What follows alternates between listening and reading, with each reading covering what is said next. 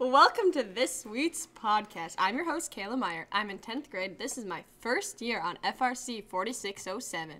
I did three years back in FLL. I'm the lead of the media department, and this is my first podcast. Now let's have you two introduce yourselves. I'm Adam Sura. I am in 10th grade. I have been on FRC ever since, what was it? I think it was 4th grade with Trash Trek, maybe? It's not FRC, it's FLL in fourth grade. Yeah, FLL in 4th grade.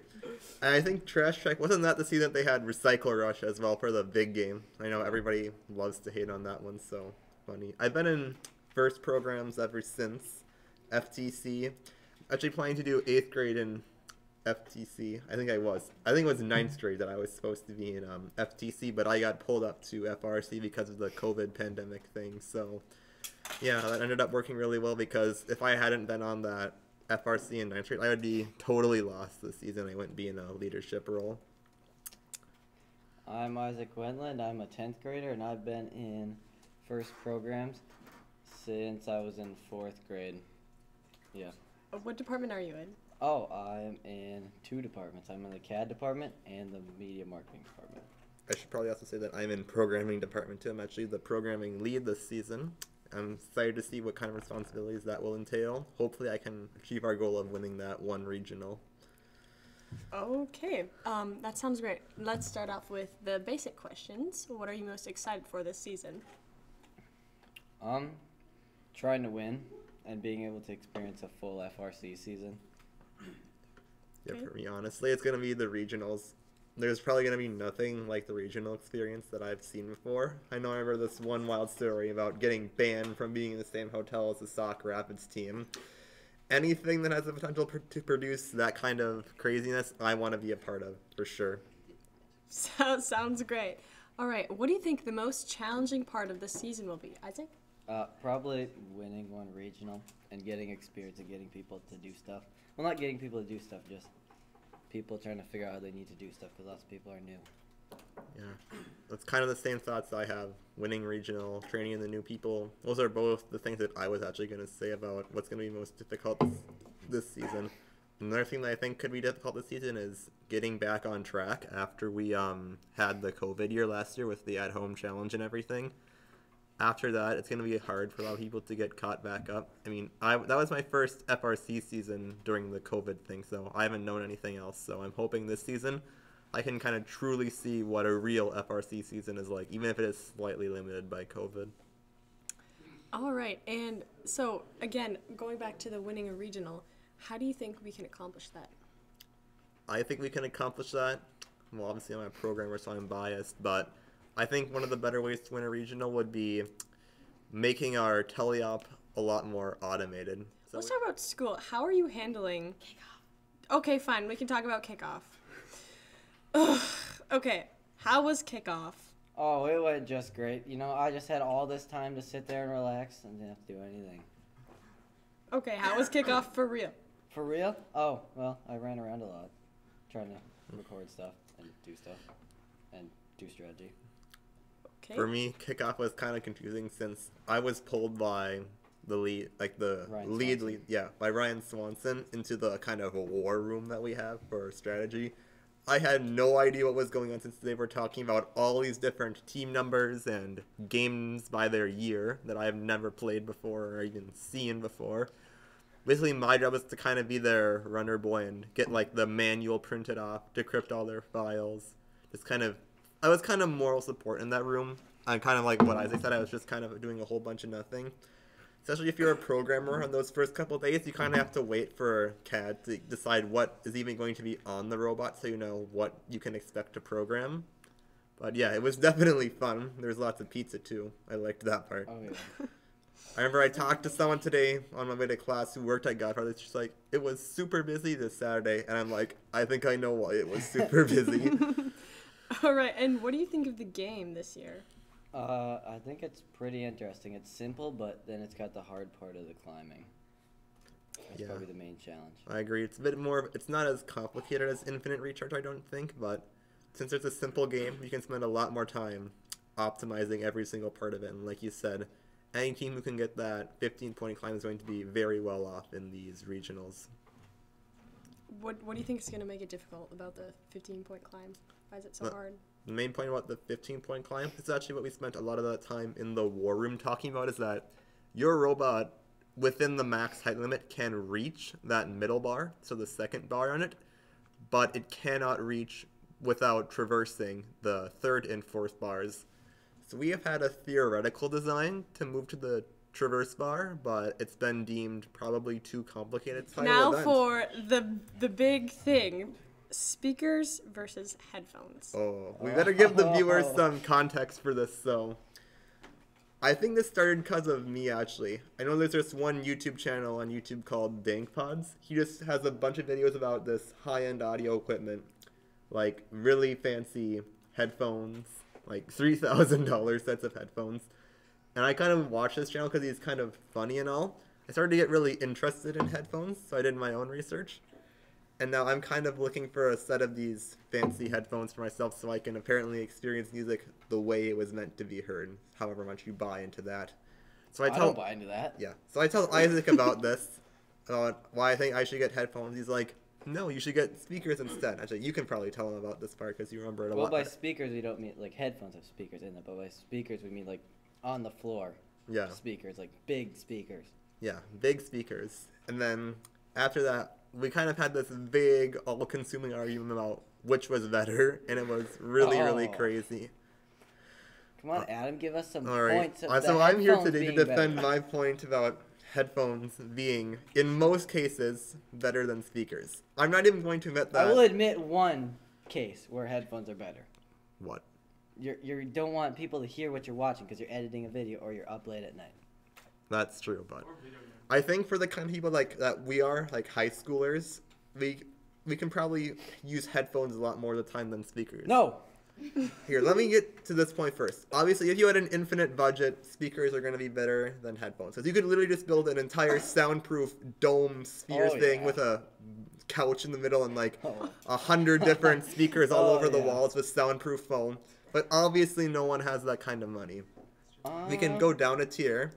For like ten thousand dollars, you can, you can get like what most people will con- would consider like a good like not like of high the- high yeah, quality high quality. like a like Klipsch. You can get some Klipsch stuff. Yeah, but that's really expensive, especially if you want to go surround sound like 5.1, which means front left, front right, center, and then two channels behind you, which are the surround left, surround right. and, And, a then the point one is the subwoofer, one Yeah. subwoofer. Or you can go for 5.2.2 or 5.2.4, which is five channels, like Adam said, the, then two subwoofers and four ceiling channels, which Yeah. are speakers in the ceiling to add height. But for most of our case, like if you wanted to have the same kind of audio quality as a pair of speakers for the same price, you could probably only go for a 2.1 setup where it's one speaker on your left, one speaker on your right. You don't get the quite the surround sound, but you still get kind of the feeling of speakers. That's one thing I will admit where speakers are better than headphones too is that you will never be able to get that whole body shaking sensation with headphones that you can with a speaker. And subwoofers. Oh, Yeah, yeah. subwoofers especially. I've been honestly kind of wanting to buy this like a junk car off of Craigslist and just load it up, load its trunk up Adam, with do a you even ton have of. that much money? No. You If I did, I- job. Yeah, they paid me nine bucks an hour, so even if I stayed, I probably couldn't do You're it. not in- even at your job anymore. well, that's because of robotics. I literally quit because I knew that I wouldn't have any time to work during the robotics season. I'm supposed to be working, but Okay. we see where that's going. All right. Now here's where my argumentative part of this whole thing gets in. I'm not gonna- So here's my argument. I argue that for the kind of budget that we have as kind of broke high schoolers, that for, for given, Are you speaking for all of us? You're just yeah, speaking for the ones for who like sub one, let's say sub five hundred dollars. Like I won't even spend five hundred dollars on a pair of audio because I spent less than five hundred dollars on my five point Well, one. that's kind of what I'm saying is that setup. For any price under five hundred dollars, you will always be able to find a more high fidelity, which means better sound reproduction quality pair of headphones plus any external amplifiers or Adam, let's see. Would you? Who really cares about how good your sound sounds? I when do. you can get like feel the bass. Like who cares about Yeah. doo doo doo in my head? you can feel it, but it doesn't make any. It doesn't even matter if what you're feeling is not Adam, good. audio is very subjective. yeah. Since when? Does, how do you Okay, know here. this? Think these about sound this. better than these. Okay, okay, these one at a speakers- time. One at a time. Okay, if- Adam, go ahead. If audio was as subjective as you're saying, then it wouldn't matter whether I, whether I got like a ten dollar pair of those in, Apple included earbuds or It's like a fifty four thousand dollar no, pair it's of HE1. subjective to a point. Exactly. And what I'm saying is that for under $500, you'll be able to subjectively say that any given pair of headphones plus amp or DAC, as long as it's like not supposed, as long as it's not like stuff that's just purposely made to be expensive and bad, as long as you can, with good intentions, search out quality stuff that actually is good and not just bad and expensive at the same time. So if you, what I'm saying is, if you do your proper research, like you're actually going to buy this for yourself, and you spend 500 bucks on headphones plus accessories and speakers plus accessories, you'll be able to afford a better pair of headphones and thing, and other things I should say, for the same price that if you spent that equivalent amount of money on speakers and other things. So Mm, that's fair, but still, speakers like subwoofers. Why don't you want You- subwoofers? You don't have any argument to yeah, the entire thing. Well, You like kind of think about it. Okay, okay. Well, think about it. So speakers, I mean headphones. There's two speakers that are jammed to your ears, hmm but like that. How does that produce the surround sound? That an act that like actually a speaker being in the front of you, to your side, to your left, to your back, above you. How does that, That- two speakers that produce see- like nine speakers? I used to nine think that was one of the main problems with headphones too, but then I discovered something called virtual surround sound, which is It sounds like a bunch of made up stuff. No, no, no. I actually did it Oh, yes, myself yes, on the, my current pair of headphones. It has a free license key for the some of this surround sound software. It's called DTS Headphone X. What's cool is it takes this. Wait, so you're telling me now that I bought my headphones, I can't just plug them in and use them, and they sound good. You're Well, telling good. me that I have to buy a whole new piece of junk software to make my headphones sound as good as my speakers. No, you don't. As long as you're listening to stereo content, which the majority of content, like in games on YouTube, is going to be stereo content. Only if you want to listen to that like surround sound content on like Netflix or Prime Video or any other major video streaming site is where DTS is going to come into play. Because what that does, it'll take all those channels and use a whole bunch of complicated math to figure out what sounds it needs to send to both of your ears to imitate the effect of having a bunch of speakers in your room. I actually tried it out with like a with like a demo video. I got it set up, and let me tell you, it sounded just like there were speakers. I would able I was able Yeah. to point and tell where the sound object it was showing on the screen was coming from. You can do those speakers, but I do get your point because with like amps, they have like Dolby Digital and Dolby Pro Logic, which decodes stereo into uh-huh. all around you. Yeah. So you're admitting that headphones are better. I'm not admitting that headphones are better. Let me get you into this argument now, since you have been talking too much. What do you think? I think that headphones are better in some situations. In most Yeah. situations. Yeah, that's in my situ- one in most situations. That's my point exactly. I'm not even saying that speakers are always going to be worse. Like they are better. Like if you had an infinite budget, because there's nothing going to be able to be sitting in like a 20 speaker, amazing twenty thousand dollar home theater setup. But Adam, here's my point. Do if headphones were better, they'd give you headphones at the movie theater, that's and they use speakers.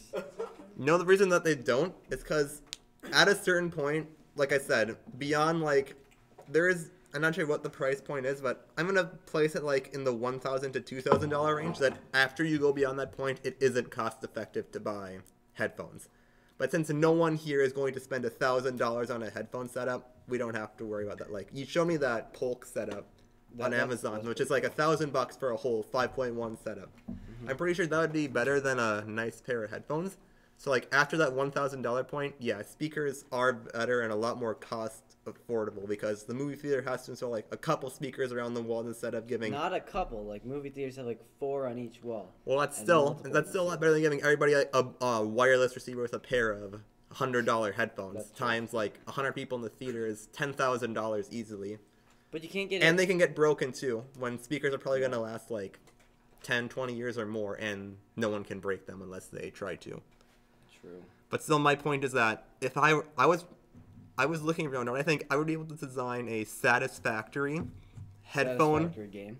no that's that's a good game too but satisfactory headphone and amplifier setup for under $250 what kind of speaker setup could you get for under $250 like Under two hundred fifty dollars. or 250 or less Uh, Can we like go to Goodwill and buy some amps? Oh, you, I'm getting stuff used too as part of the price, so Oh, you can okay, you can good. use you can get used stuff too. Well, course. let's see. Let's see if I can find some family members who can give me some of their amps for free. Can we do that?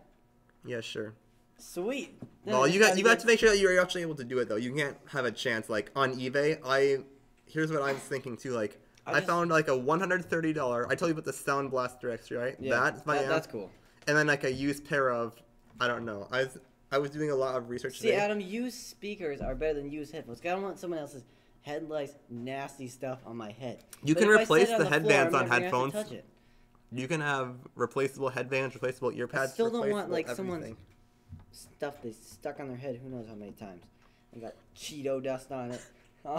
Like with speakers, I can set it on the ground, never have to touch it again. And then it gets all dusty. So what's your point? Yeah, then it gets, Gets all full moldy. dead skin cells. Yeah. Good skin cells. Yeah, Yeah, that- that's that's what a re- dust is. How do we know that? Do we Because watch we ran the today? air through. Yeah, seventh grade science. Come on. There's also YouTube Alright. videos of that. No, It's like 30 minutes long. I watched it. You go, dude. All right, and here's what I want to say. Finally, we we and Isaac were in a call one night. We realized that there is the perfect compromise between these two. Oh yes. This is this, is this is what we pretty- think is our best Well- solution to the problem. Well, if you want headphones, this is the best solution. But if you want speakers, it's not Okay. the best solution. My s- m- obviously the problem with headphones is that, as I said earlier, you will never be able to get the body shaking feeling. Bass from subwoofers. Yeah. So what we did, we used that amplifier that I was talking about, the Sound Blaster X3. What it has is it has multiple outputs. So what we are able to do is we're able to take headphones, which we can just put There's on our heads and listen to yeah. to get detail and clarity. And we have the other output goes to a subwoofer amplifier hookup to its has a- own dedicated subwoofer. Which has a crossover, so it only plays its dedicated frequencies. Yeah, so it doesn't pl- try to play the, your whole voice chatter game or whatever. It only plays the bass part of it. What you're able to do is you're able to get the clarity part of headphones while you're able to get that shaking feeling from the subwoofer. Yeah. It's still l- more cost effective, I think, than a whole at least 5.1. I'm not going to say 2.1 maybe, but at least it's more cost effective than a 5.1 even Yeah. if you include the price of the virtual surround sound software, which is only like 20 bucks by the way, so I think that that is the best compromise between the clarity of headphones and the bass shaking feeling of speakers. Hey, what do you yeah, want? in I, a I started getting really bored. Okay, Adam, you came over to my house, and I showed you my subwoofer setup, and you, when I put them up Yeah, about was a good. quarter of the way, you smiled. Yeah, I did smile. So you obviously like bass. Yeah, I do like bass. I'm not. I'm not gonna deny that. I do like that bass shaking from subwoofers. Oh yeah. Sweet. Hey Cameron, can we get you in here? You you got to trade Save out. me for like next podcast. No, no, you need to come in here no, no, so you we guys can. can put Cameron in. It's fine. Come on. Okay, Cameron. Okay, it was nice to meet everybody. Bye. Okay, we got Cameron in here because he is more interested. Than okay, so we brought you in now because you were more interested than our other host. So wait, right? I just replaced the host. I'm the new one. Yeah. Well, like, well, "You you're like right." the- Replace you're like the new We're- host. We're in control of the show now since we can replace the host that well, so you can be banished at our Okay, command. okay, yep. Okay, so well, could you introduce yourself because our other host we kind of swapped him out because they got bored of our conversation. You seem more interested, so Yeah. introduce yourself. Um. Well, I'm Cam Northern Scold. My uh, this is my first year on robotics in general. I've never been FRC, nothing, and I I work in the media marketing department, and Yeah. I'm I'm gonna kind of start up this round two of the debate, and I honestly think they're both. It changes depending on the situation. It's like I mean, that's a fair opinion. That's better than just like no headphones at all. Adam, Well- what the heck you doing? I'm creeping out the viewer. the camera. then we have to redo that because now no, we're don't. Oh, No, you keep don't. that in. That's hilarious. Hey. Hey. Hey, robot!